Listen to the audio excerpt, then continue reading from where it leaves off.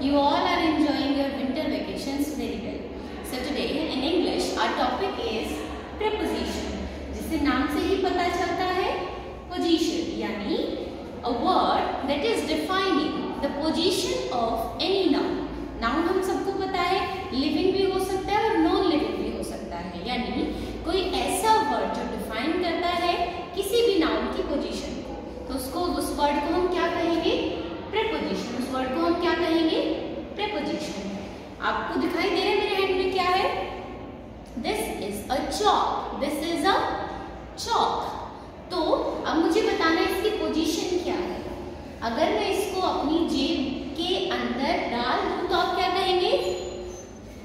Where is the चौक तो आप बोलेंगे चौक तो आपकी जेब के अंदर है, आपकी पॉकेट के अंदर है।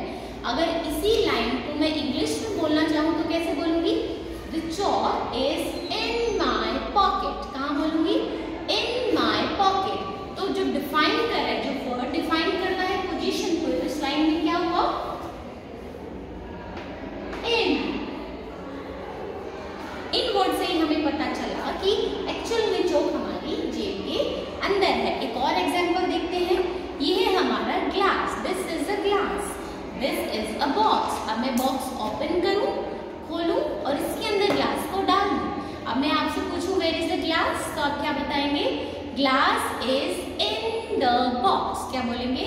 The glass is in the box ऐसे ही बहुत सारे एग्ज़ाम्पल आप अपने आसपास ले सकते हैं, जैसे my notebook is in my bag my pencil is in my pencil box ऐसे ही सेकेंड हमारा प्रपोजिशन है ऑन ऑन को हम कैसे समझेंगे जैसे ये है हमारा चौक। या ये है हमारा ग्लास अगर ये ये जैसे हमारी हथेली है, मैंने इसको मेरी हथेली के ऊपर रख दिया। मैं आपसे पूछूँगी कि चौक कहाँ है?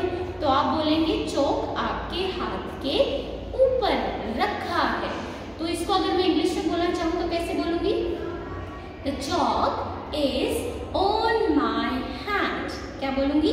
The chalk is on my hand एक और एग्ज़ाम्पल देखते हैं देखिए ये ग्लास है, ये फिर से वही बॉक्स आ गया। अब मैं अगर ग्लास को बॉक्स के ऊपर रख देती हूँ तो सेंटेंस क्या बनेगा? The glass is on the box repeat करिए।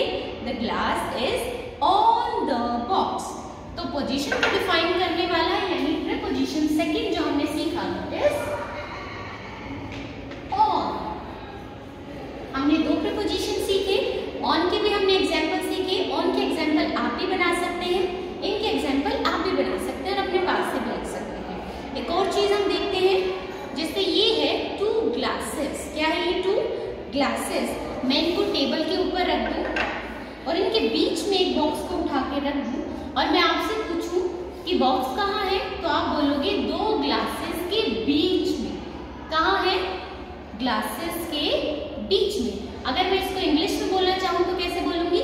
The box is in between the box is between the glasses तो बिटवीन का क्या मतलब होता है जब कोई ऑब्जेक्ट प्लेस्ड होता है किसी ऑब्जेक्ट की पोजीशन होती है किन्हीं दो ऑब्जेक्ट के बीच में तो हम एक वर्ड यूज़ करते हैं that is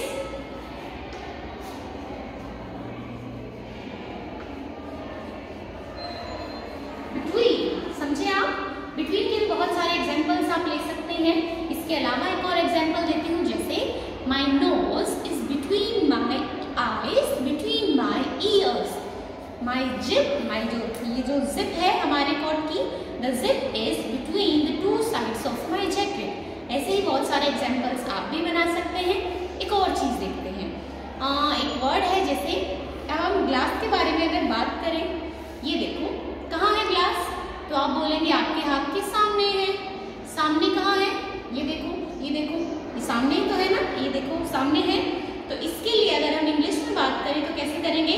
The glass is in front of my hand the glass is in front of my hand सुबह जब आप लोग स्कूल आते हैं, नहाते हैं, नहाने के बाद कौन करने के लिए मिरर के सामने खड़े होते हैं कि नहीं?